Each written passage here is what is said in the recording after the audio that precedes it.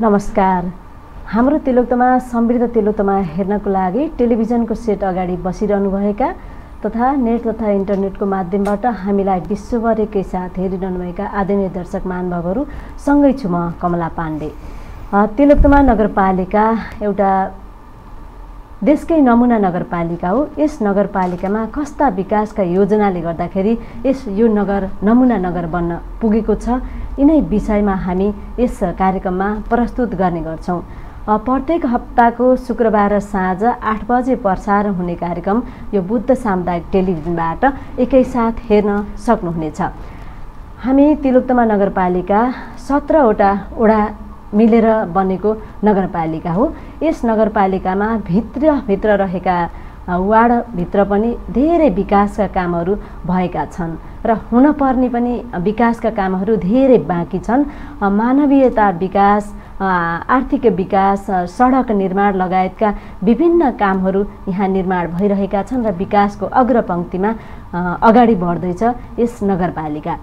यसै सिलसिलामा विभिन्न शीर्षकमा र विभिन्न योजना अनुसार हामीले यस कार्यक्रममा प्रस्तुत गर्ने गर्छौँ।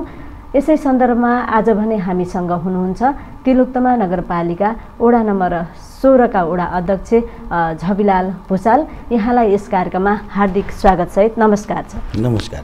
आरामै हुनुहुन्छ? हजुर आरामै छु। के गर्दै हुनुहुन्छ अहिले? अहिले अब विकास निर्माणको लागि दौडधुप गर्नु थियो भने अरू के हुन्छ जनताको काममा तल्लिन नै हुनुहुन्छ। तल्लिन नै छु। त्यही त अब एउटा वार्ड अभिभावक पनि हुनु हो वार्डवासीको लागि एउटा अभिभावक नै हो। एउटाको बलेनीमा चुहेको पानी अर्कोको बलेनीमा आयो भनेर वार्डका समस्याहरू यस्ता पनि आउने गर्छन्। त्यसै सिलसिलामा अहिले यो वार्डमा जब अहिलेको आर्थिक वर्ष सुरु भएपछि यस वार्डमा चाहिँ कस्ता गतिविधिहरू कस्ता विकासका योजनाहरू सुरु गरिरहनु भएको छ?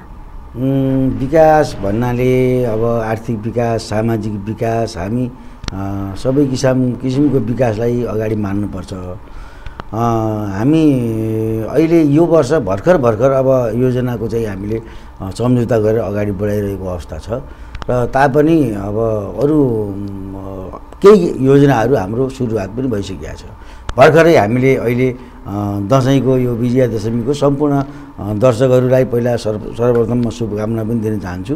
र यो दसैँको उपहार भनेको हिसाबले हाम्रो तिलोत्तमा नगरपालिका वार्ड नम्बर सोह्रको दसवटा टोल विकास संस्था छ। प्रत्येक टोल विकास संस्थामा मिनी लाइट यो अलि ठुलो बत्ती लगाइदिनु पऱ्यो भनेर चोक चोकमा हामीले चाहिँ अलिकति उज्यालो गराएका छौँ र यो वर्षबाट हामीले चाहिँ ती कर्मिक रूपमा सबै टोलमा सबै चोक चोकमा पुर्याउने गरी दसवटा चाहिँ हामीले अहिले विस्तार गरिरहेको यो हालचालै विस्तार गर्दै हुनुहुन्छ। आगामी भावी योजनाको लागि पनि त वार्डले केही गरेको छ होइन? वार्डको लागि भावी योजनाहरू कस्ता रहेका छन् यस सोह्र नम्बर वार्डलाई नमुना वडा बनाउनको लागि कसरी काम सुरु गर्नुभएको छ? तिलोत्तमा नगरपालिकाको वार्ड नम्बर सोह्र हाम्रो नगरपालिकाको दक्षिणी बेल्टमा पर्ने वार्ड हो। त्यो वार्ड म अहिले यो दोस्रो कार्यकाल निर्वाचित भइसके भएर आएपछि पूर्व पहिला चाहिँ गाउँ बस्ती टोल बस्तीहरूका टोल बस्तीमा जति थारू गाउँहरूमा अयर गाउँहरूमा यिनीहरूमा चाहिँ ढलानको काम सम्पूर्ण भ्याएर अहिले म बाहिरपट्टि चाहिँ विकास निर्माणको लागि अगाडि सर्दैछु। यी बाटाहरू हाम्रा बाटा जति पिच गर्न बाँकी छन् कर्मिक रूपले हामीले चाहिँ अगाडि बढाइँदै बढाउँदैछौँ। नगरपालिकाको एक किलोमिटरको बाटोको सुरुवात नगरपालिका र केन्द्रको बाटो अर्को टेन्डर भइसकेको छ अर्को सुरुवात करिब करिब तिन चार करोडको योजनाहरू बाटोको विकासको लागि हामी लाग्दैछौँ। बाटो बाटो विकास मात्रै गरेर हुँदैन सामाजिक विकास पनि गर्नुपर्छ भन्ने हेतुले चाहिँ यतापट्टि जनताहरूलाई जनताको भावना अनुरूप अन्य सामाजिक सहित मानवीय विकास मानवीय विकास अन्य अन्य कामहरूलाई पनि हामीले चाहिँ यसलाई अगाडि बढाउँदैछौँ र भइरहेछ। अहिले भर्खर चाहिँ यो हाम्रो टोलमा चोरी चकारी विभिन्न समस्याहरूको देखिएको हुनाले वार्डले आफ्नै वार्डको योजना अनुसार नगरपालिकाको योजना होला पछि नगरपालिकाले ल्याउला तर हाम्रो वार्डको आफ्नै योजना अनुसार का जुन अगाडि सारेको प्रत्येक टोल विकास संस्थामा चाहिँ सिसिटिभी लगाउने भनेर हाम्रो चाहिँ वार्डबाटै हेर्न मिल्ने गरी तारको नेटवर्क अहिले सुरु हुँदैछ। अहिले म भर्खर त्यहीबाट आउँदैछु हाम्रो चाहिँ तार विस्तार हुँदैछ र तिन चार दिनभित्र चाहिँ यो तार विस्तार भइसकेपछि अनि हाम्रो वार्डैबाट हामीले स- टोल विकास संस्था वार्डका चोक चोकमा चाहिँ कहाँ के भइरहेछ भन्ने कुरा हेर्न सक्नेछौँ भन्ने हिसाबले काम गर्दै। गर्दाखेरि जो विकास गर्दै गर्दाखेरि अन्य चुनौतीहरू पनि आइपर्छन् आइपरेका हुन्छन्। तिनी चुनौतीहरू कस्ता चुनौतीहरू आएका छन् र ती चुनौतीहरूलाई समाधान गर्नलाई के पहल गरिरहनु भएको चुनौती भनेर त्यस्तो छैन। मलाई जहाँसम्म लाग्छ मेरो चाहिँ मेरो वार्डका सबै चाहिँ बासिन्दाहरूले मैले गरेको काम चाहिँ सराहनीय जो मान्नु भएको छ। उहाँहरूलाई म धन्यवाद दिन चाहन्छु कि कुनै पार्टी पक्ष भन्दा भन्दा पनि सबै जति सबै हुनुहुन्छ सबैले मलाई माया गर्नुहुन्छ त्यहाँ।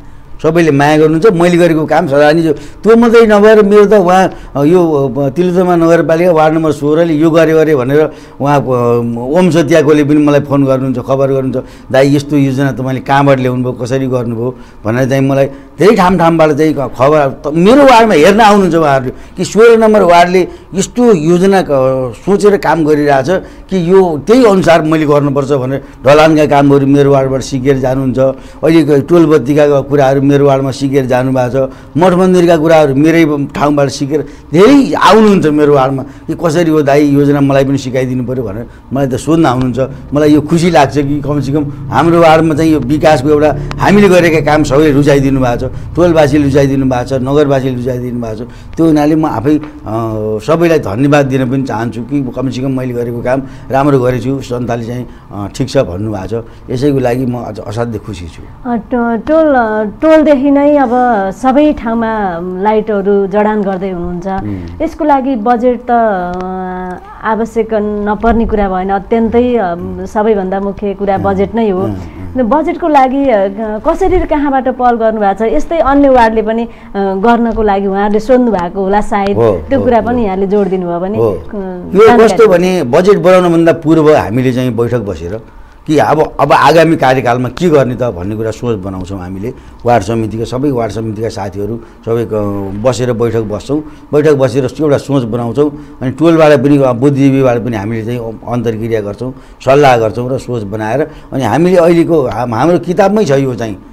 के किताबमै छ कि हाम्रो नगरपालिकाले जुन प्रकाशन गरेको किताबमा छ त्यो सिसी क्यामेरा जडान गर्ने त्यसपछि टोल बत्ती अब ठाउँ ठाउँमा फोक्स लाइटहरू ठुल्ठुला मिनिमास लाइटहरू लगाउने यस्ता कार्यक्रमहरू वृद्ध पार्कहरू बनाउने होइन फुटबल फुटबलको लागि अब ग्राउन्डहरूको खोजी गर्ने विभिन्न युवाहरूको कुराहरू सबै हामीले पूर्व योजना नै हाम्रो किताब अनुसारै अगाडि बढिरहेको छौँ। जस्तै मेन हाइवे सिक्स लेन भनिन्छ जुन मेन हाइवे भन्दा अ, केही मिटर पछाडि चाहिँ यो वार्ड छ। भित्री सडकहरू यहाँको कस्तो भित्री सडकहरू छ र भित्री सडकहरू विस्तारमा यहाँ यस वार्डमा चाहिँ भित्री सडकहरू विस्तारको लागि कसरी अगाडि बढ्नु भएको छ? भित्री सडकलाई चाहिँ के गर्दै हुनुहुन्छ? भित्री सडक पनि उज्यालो बनाउन त पर्यो होइन? राम्रो बनाउन पर्यो हिँड्न मिल्ने बनाउन पर्यो। आगामी भित्री सडकहरूको लागि पिच गर्न पर्ने पक्की गर्नुपर्ने कच्ची सडकलाई पनि मर्मत गर्नुपर्ने देखिन्छ। त्यसको लागि पनि यहाँले केही पहल गर्नुभएको छ? भित्री सडक भन्नाले पुराना गाउँ बस्ती जुन पुराना परापूर्वकालदेखि बसिआएका गाउँ बस्तीहरूको भित्री सडकको चाहिँ सम्पूर्ण ढलान कार्यहरू मैले अघिल्लो कार्यकालमै काम भ्याइसकेका थिएँ।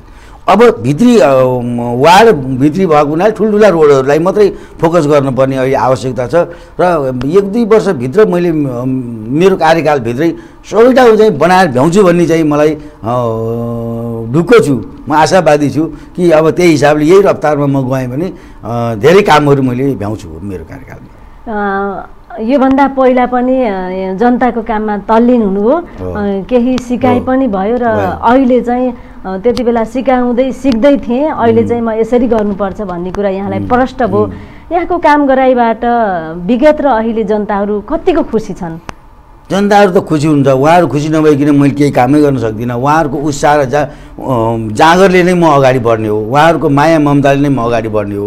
त्यो हुनाले मेरो वार्डका सम्पूर्ण चाहिँ टोलवासीहरू वार्डवासीहरूले माया मलाई माया गर्नुहुन्छ र त्यही मायाले गर्दा म अगाडि धेरै काम गर्न सकेको हो। नत्र मैले कहाँ सक्छु र म एक्लै त के हो र?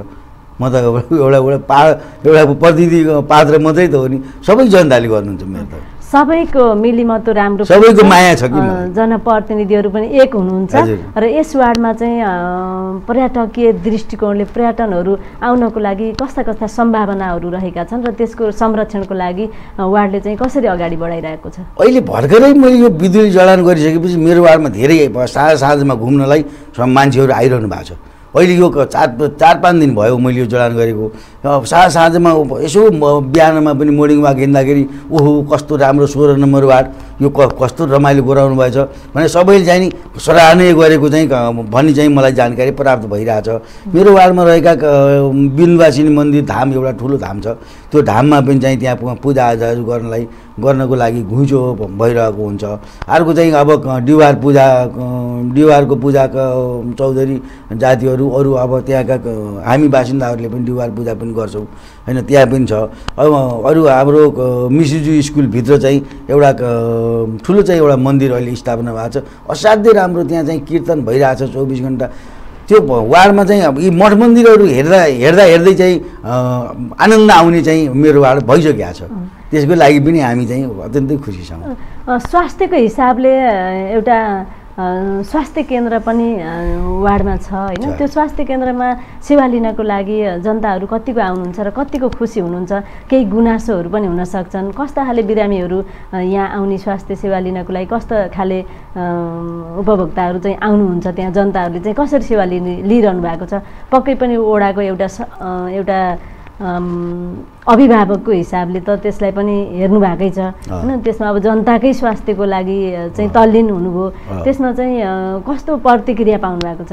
यस्तो अब स्वास्थ्य हाम्रो स्वास्थ्यको भनेको अब डाक्टर बस्ने त होइन। हाम्रो चाहिँ सामान्य ट्रिटमेन्टको कुरा हुन् सामान्य ट्रिटमेन्टको हाम्रो चाहिँ अब अहिले यो जिल्लामै फर्स्ट भएको हाम्रो स्वास्थ्य चौकी हो। यो चाहिँ सबभन्दा राम्रो सरसफाइ सबै चिज राम्रो। भए तापनि अब जनतामा अझै पनि विकास गर्नुपर्ने छ अझै पनि उहाँहरूलाई बुझाउनु पर्ने छ कि यो यो दबाईहरू फेरि पाइन्छ है। भनेर उहाँहरूलाई अझै पनि बुझाउनु पर्ने आवश्यकता छ।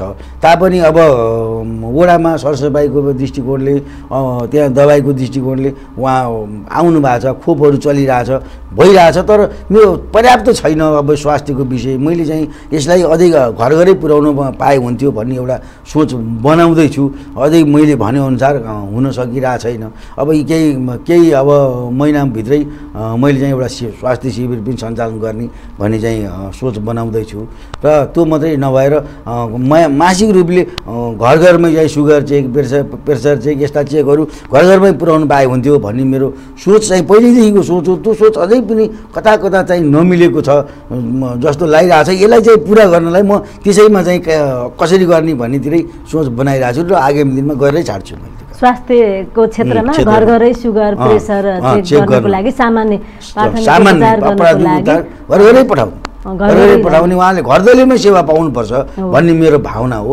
त्यो भावना अझै पुरा हुन सकेन। त्यसलाई कसरी गर्ने भन्ने सोच बनाएर त्यसलाई चाहिँ फेरि गर्ने गर्दै छाड्छु भनेर म प्रयत्नमै छु गर्दैछु हेर्दैछु हेरौँ। यहाँप्रति चाहिँ ओडावासीहरू अत्यन्त ढुक्क हुनुहुन्छ। उहाँ। जे बोल्नुहुन्छ त्यही काम गर्नुहुन्छ भन्ने छ।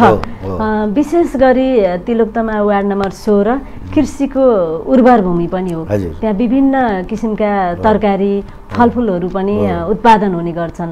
कृषिमा आत्मनिर्भर गराउनको लागि वार्डले चाहिँ अब त्यही पानी विद्युत होइन अब मोलहरू नै आवश्यक बढी पर्छ। त्यसको लागि वार्डले के गरिरहेको छ अहिलेसम्म? विशेष गरेर कृषिमा हामीले अहिले के भनिरहेछौँ भने अब तरकारी खेतीको लागि एउटा चक्लाबन्दी गर्नुहोस्। चक्लाबन्दी नगरेसम्म हाम्रो विकास हुन अलि गाह्रो भयो। एउटाले आलु लगाइदिनुहुन्छ त्यहीँ एउटाले तोरी लगाइदिनुहुन्छ त्यहीँ एउटाले चाहिँ अब मुला लगाइदिन्छ त्यहीँ। अब तोरी र चाहिँ आलु लाउँदाखेरि आलुमा पानी लाउँदा तोरी बिच्च बिग्रन्छ। त्यो हुनाले एउटै किसिमको खेती पऱ्यो भन्ने चाहिँ जनतामा त्यही जागरुकता ल्याउँदैछु मैले। त्यो जागरुकता ल्याएर चक्लाबन्दी गराएर त्यसपछि अनि त्यहाँबाट तोरी लाउने ठाउँमा तोरी मात्रै गहुँ लाउने ठाउँमा गहुँ मात्रै आलु लाउने ठाउँमा आलु मात्रै यस्तो किसिमको चाहिँ कार्यक्रम गराएर अगाडि बढाउनको लागि गाउँ गाउँमा गएर टोल टोलमा गएर टोल विकास संस्थाका साथीहरूलाई गाउँमा गएर पनि यो कन्भिन्स गर्दैछु अब यतै अगाडि बढ्दैछु। आगामी दिनमा चाहिँ त्यो चक्लाबन्दी हिसाबले चाहिँ अब गऱ्यो भने हामीले सब्सिडी दिँदा पनि कमसेकम तोरीको क्षेत्रमा एउटा बोरिङ गाडिदियौँ भने त्यहाँ चाहिँ अब पाँच बिघाको खेत भयो भने पाँच बिघामा त्यही बोरिङले काम गर्छ। तिन बिघा बिगामा त्यही बोरिङले काम गर्छ। आलुको क्षेत्रमा भयो भने त्यसरी चाहिँ विकास फलफुलको क्षेत्रमा हो भने फलफुललाई त्यही किसिमले चाहिँ हामी डेभलप गर्नको लागि अगाडि बढाइरहेको छु। त्यो पनि आगामी दिनमा सक्सेस हुन्छ भन्ने मेरो होस् यहाँले जुन तयारी गर्नुभएको छ। सोचेर नै दीर्घकालीन रूपमा सोचेर। नै अगाडि बढिराख्नु भएको छ। आत्मनिर्भर बनाउनको लागि अब ओडावासीलाई आत्मनिर्भर बनाउनको लागि यस वार्डमा चाहिँ विभिन्न उद्योग काल कारखानाहरू पनि छन्। त्यसमा चाहिँ उद्योगहरू सञ्चालन भइरहँदाखेरि यस यसै वडाका जनताहरू उद्योगमा काम गर्न जान्छन् कामदारहरू हुन्छन् होइन? त्यसमा चाहिँ उद्योगहरूसँग यहाँहरूको सम्बन्ध उद्योगहरू आएर वार्डसँग गर्नुपर्ने करदेखि लिएर अनेक किसिमका प्रक्रियाहरू हुन्छन्। त्यो प्रक्रियामा पनि त वार्डले पक्कै पनि हेरिरहेको छ होइन? त्यसमा चाहिँ उद्योगमा काम गर्ने को लागि यहाँले के भन्नुहुन्छ? जस्तै रोजगारीको लागि यहीँ पनि केही छ यही गरे पनि रोजगारी सिर्जना हुनसक्छ आत्मनिर्भर बन्न सक्छ भन्ने हिसाबले वार्डले चाहिँ अहिले त्यो रोजगारको लागि के गरिरहेको छ? यस्तो छ रोजगारको विषय विशेष गरेर शैक्षिक बेरोजगार हाम्रो चाहिँ ठाउँमा बढी हो। शैक्षिक बेरोजगार अहिले देशकै चाहिँ एउटा समस्याको रूपमा परिरहेको छ। अहिले चाहिँ धेरै अब अलिकति बाह्र पास गर्ने बित्तिकै विदेश जाने यो ट्रेन्ड जुन बसिरहेको छ यसले चाहिँ हाम्रो देशलाई कता कता काली लाग्दो अवस्था नलैजाला भन्न सक्दिनँ मैले। यो अवस्था यो देखिरहेको छ हाम्रोमा पनि। तापनि शैक्षिक बेरोजगार बाहेक अरू अन्य रोजगार गर्न चाहने व्यक्तिहरूलाई मेरो वार्डमा रोजगारको केही कमी छैन। कुनै व्यक्ति मेरो वार्डमा त्यस्तो चाहिँ बेरोजगार बसेर फ्याक्ट्रीहरू कल कारखानामा गर्छु मैले पाइनँ भनेर त्यस्तो भन्न मौका आउनु भएको छैन। उहाँहरूले गरिरहनु भएको छ पाइरहनु भएको छ। सामान्य आफ्नो लायकतले भेटेको आफ्नो क्षमताले भेटेको उहाँहरूले गरिरहनु भएको छ जस्तो मेरो बुझाइ हो। त्यस्तो मौका नआएको हुनाले उहाँहरू त्यस क्षेत्रमा ग- गर्नुभएकै छ भन्ने मेरो बुझाइ छ अहिलेसम्म। यो तिलुक्तमा नगरपालिका देशकै नमुना नगरपालिका हो। प्रत्येक वार्ड नमुना वडा भइसकेपछि नै नगरपालिका नमुना नगरपालिका। बन्दैछ। त्यसको लागि नमुना वडा बनाउनको लागि विगत र अहिले अब भावी योजनाहरू के के तय गर्नुभएको छ? साँच्चीकै तिलोक्तमा नगरपालिका अझै विशेष गरी वार्ड नम्बर सोह्र चाहिँ घुम्नै पर्ने ठाउँ रहेछ नमुना नै ओडा रहेछ भनेर जसरी जनताले चिनाउन्। जानै पर्ने ठाउँ रहेछ भनेर त्यहाँ गएर हेर्नको लागि अवलोकन गर्नको लागि कसरी योजनाहरू अगाडि बढाउनु भएको छ र भावी योजनाहरू के के रहेका छन् अहिले? मेरो वार्डमा लगभग लगभग मान्छेहरू अब आउने क्रम जारी छ अहिले। अहिले चाहिँ सोह्र नम्बर वार्डमा होइन उहाँहरूले कसरी विकास गर्नुभएको छ भनेर मेरो वार्डमा आउने क्रम जारी छ। अब यो सडक बत्तीका कुरा अब अनि अब यो हाम्रो सिसी क्यामेराका कुरा बाटाघाटाका कुरा गाउँ बस्ती कसरी चाहिँ डेभलप गर्नुपर्छ जस्तै हाम्रो थारू जातिहरूको बस्ती छ गाउँमा ठुलो गाउँ बलकहरूको बस्ती ठुला बस्ती छन् त्यहाँ कहीँ कोही हिलोमा गल्ली साना साना गल्लीहरूमा पनि कोही हिलोमा टेक्नु पर्दैन हिलो मुक्त गराएर हामीले गरिसकेका छौँ।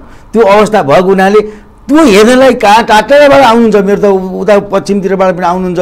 त्यो टोलमा कस्तो गाउँभित्र कस्तो राम्रो बनाउनु भएको छ अरे यस्तो हाम्रो वार्डमा बनाउनु भयो उहाँ गएर भन्नुहुँदो रहेछ। आफ्नो आफ्नो नगरपालिकामा गाउँपालिकामा गएर भन्नुहुँदो रहेछ। त्यहाँ फलानु तिलोतमा स्वरमा जस्तो बनाएको छ। त्यस्तो चाहिँ हाम्रा पनि बनाउनु पऱ्यो गएर भन्नुहुन्छ। उहाँको वडाधीशहरूले टाटाको वडाधीशले मलाई फोन गर्नुभएको छ अहिले। त्यो हुनाले त्यही किसिमले हेर्नको लागि आउने क्रम जारी छ। यो आगामी दिनमा अझै चाहिँ राम्रो डेभलप गराएर ओहो यो सिक्न चाहिँ वास्तवमा चाहिँ विकास कसरी गर्ने हो भन्ने कुरा तिलोतमा सोह्रमा जानुपर्छ भन्ने मानसिकता उहाँहरूको आफै डेभलप होस् मैले भन्ने होइन आफै डेभलप होस् भन्ने किसिमको काम गर्नलाई हामी योजना बनाउँदैछौँ अगाडि बढाउँदैछौँ।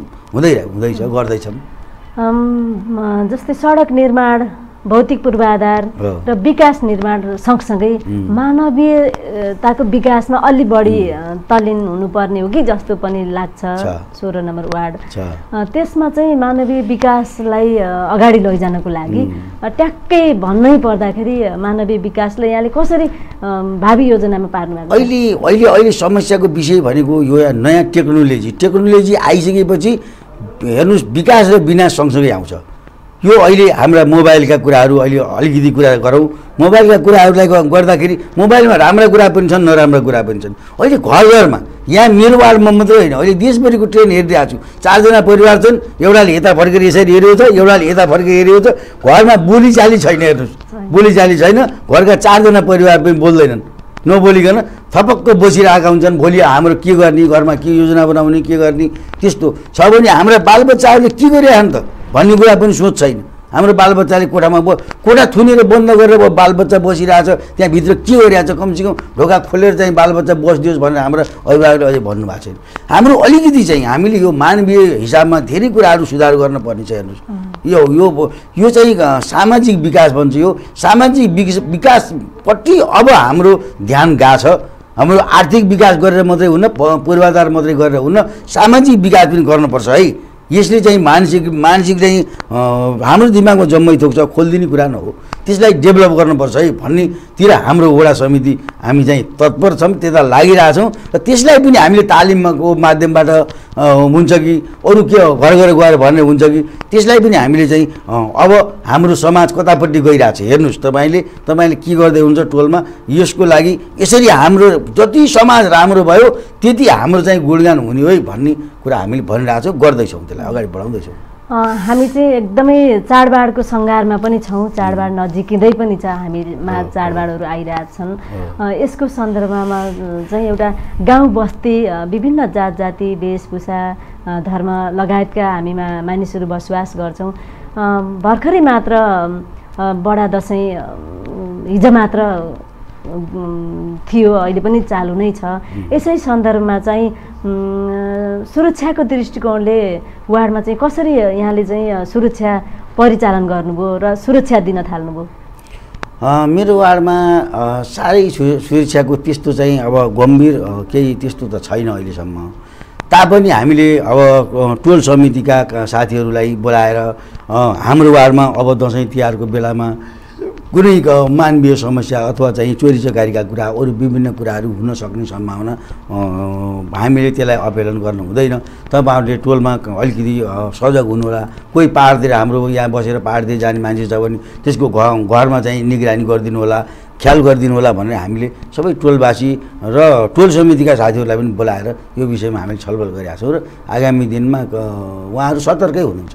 त्यस्तो समस्या छैन। कार्यक्रमको अन्त्यमा तिलोक्तमा वार्ड नम्बर सोह्रका सम्पूर्ण ओडावासीलाई चाहिँ यहाँले के भन्न चाहनुहुन्छ म सर्वप्रथम त नमस्कार र धन्यवाद दिन चाहन्छु कि अब वार्ड नम्बर सोह्रका बासिन्दा दाजुभाइ दिदीबहिनीहरूलाई नयाँ वर्षको क- यही दुई हजार असी सालको यो नयाँ वर्षको मङ्गलमय शुभकामना देश विदेशमा रहनुहुने सम्पूर्ण दाजुभाइ दिदीबहिनी सम्पूर्णलाई चाहिँ मेरो क- व्यक्तिगत तर्फबाट उहाँहरूलाई चाहिँ म धन्यवाद दिन चाहन्छु र मेरो काम रुचाइदिनु भएकोमा अझै म हर्षित साथ धन्यवाद दिन चाहन्छु। यहाँलाई पनि विशेष धन्यवाद छ। हाम्रो निम्तोलाई स्वीकार गरी यस कार्यक्रममा उपस्थित हुनुभयो। यहाँलाई पनि हामी विशेष विशेष धन्यवाद दिन चाहन्छौँ। आगामी दिनमा पनि यहाँसँग सहकार्य हामी पक्कै पनि गर्नेछौँ भन्ने आशा पनि राख्दछौँ। कार्यक्रम हाम्रो तिलोक्तमा समृद्ध तिलोक्तमामा विभिन्न यस्तै गतिविधिहरू लिएर हामी उपस्थित हुने गर्छौँ। आज पनि हामीसँग हुनुहुन्थ्यो तिलोक्तमा वार्ड नम्बर सोह्रका वडा अध्यक्ष। यसै सन्दर्भमा नमुना वडा बनाई नमुना नगरपालिका बनाउनको लागि तल्लीन यस वडावासीका भावनाहरू लिएर कार्यक्रम हामी विभिन्न विकासका योजनाहरू गर्दै गरेका काम र आगामी गर्नुपर्ने विकासका कामहरूलाई लिएर यस कार्यक्रममा प्रसारण गर्ने गर्छौँ। प्रत्येक हप्ताको शुक्रबार साँझ आठ बजे प्रसारण हुने यो कार्यक्रम हेर्न भने नभुल्नुहोला भन्दै आज भने म यस कार्यक्रमबाट बिदा हुन चाहन्छु। हस्त नमस्कार।